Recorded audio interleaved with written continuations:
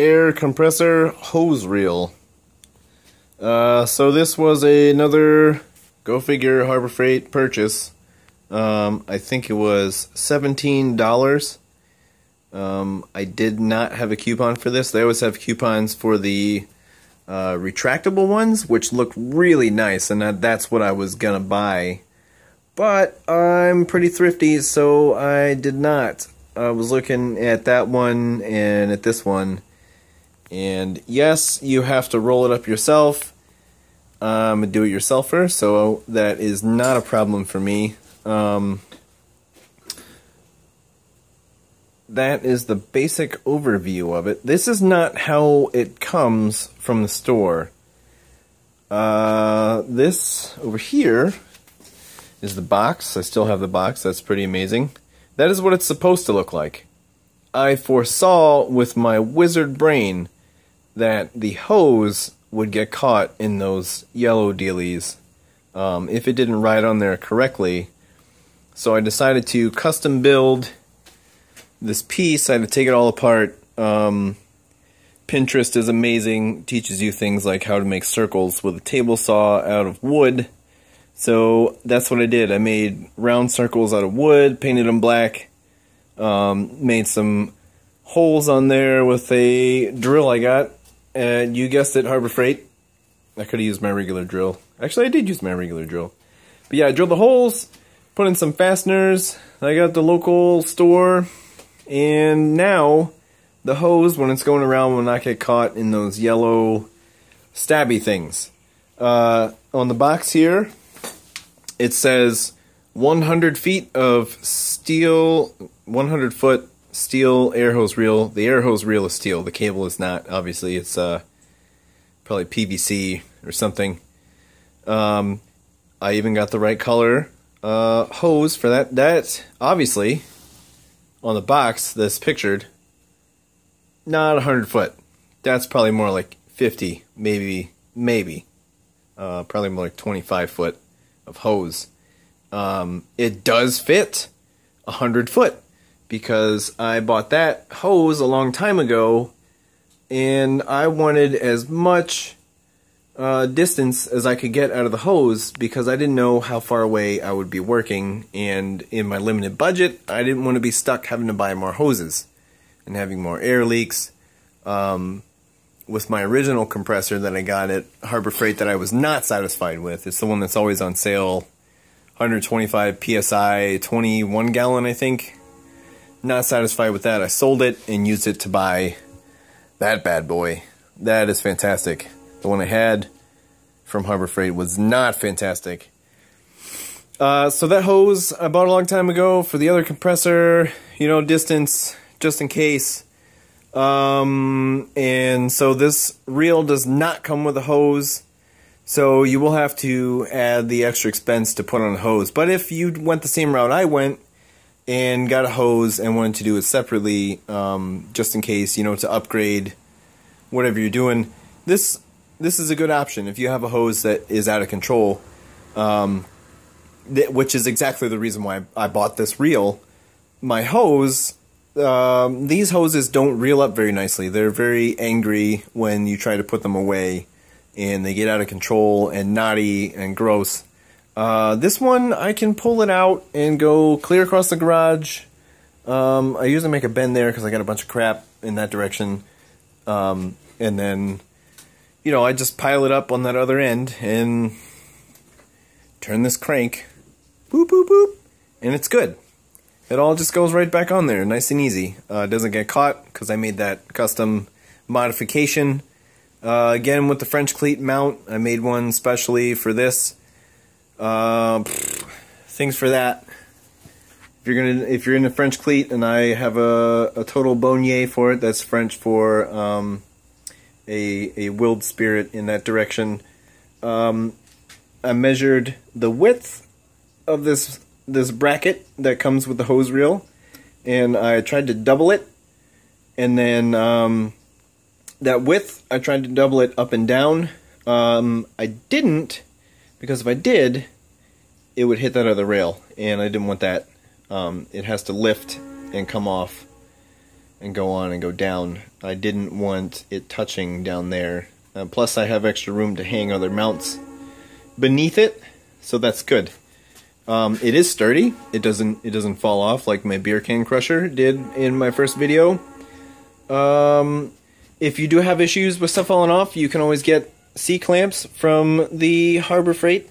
Boop boop, and you know, clamp these down if there's something you cannot risk having falling off your wall. Um, I'm probably going to do that, especially for these expensive jacks. Um, they're not really expensive, but you know, for jacks, but they are a cost, and I can't have them breaking.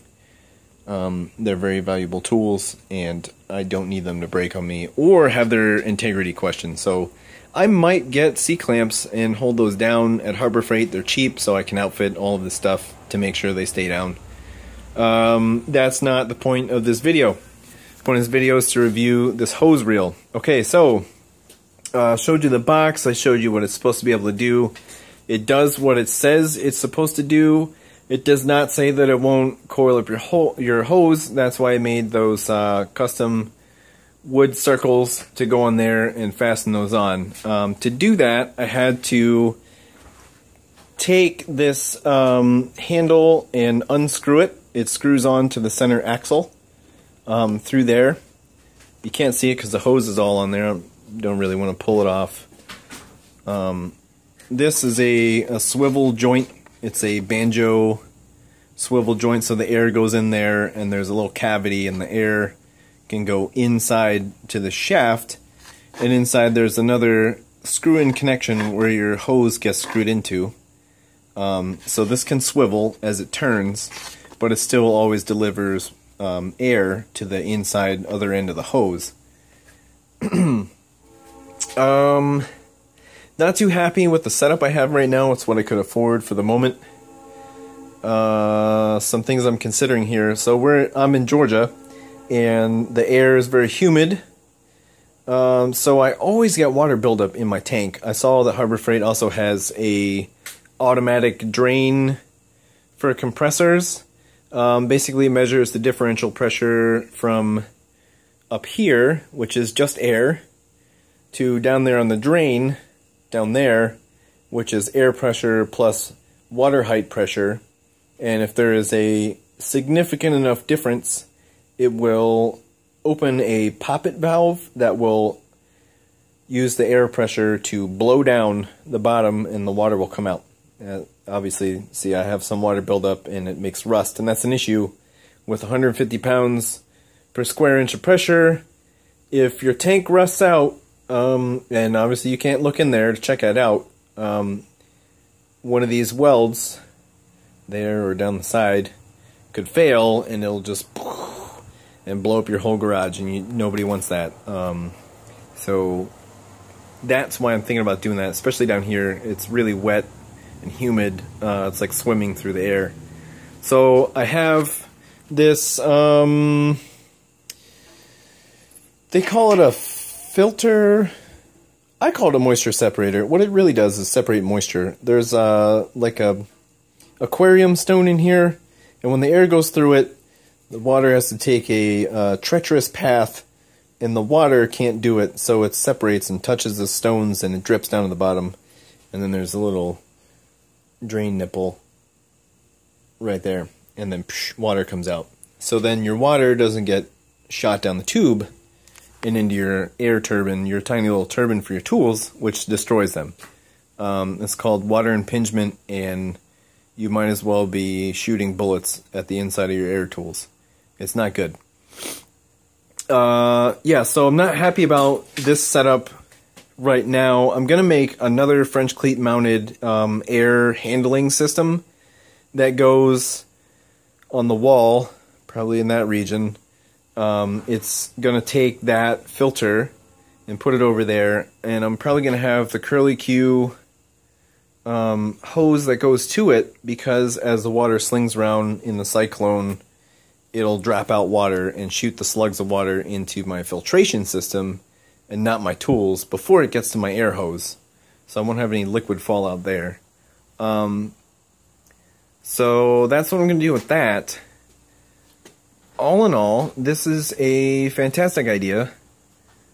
Um, again, obviously I'm going to upgrade it, but I would recommend this if you are a do-it-yourselfer and don't mind making wood circles on your table saw.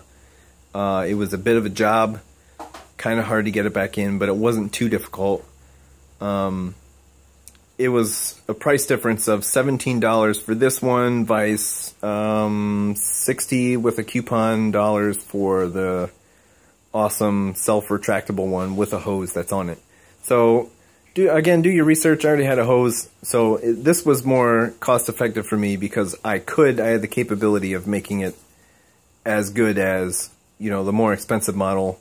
Obviously it doesn't self-retract. I don't really care. Um, so that's why I went with this one. Um, I had a lot more money that could go the distance at Harbor Freight to get more more tools that I did need.